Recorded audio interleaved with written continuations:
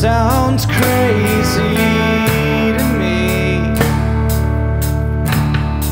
You're stuck in a car on the 15,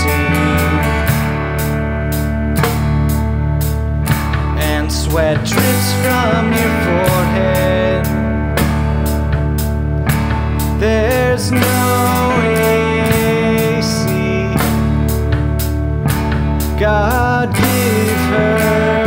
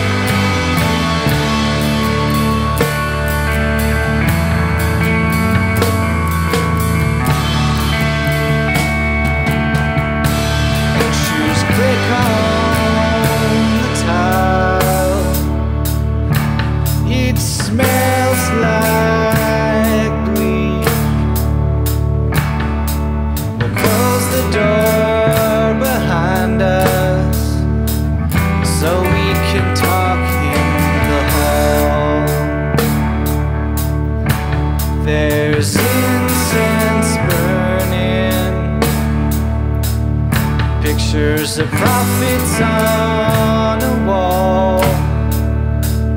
Did they really talk to God? And would she say anything at all? Emptiness.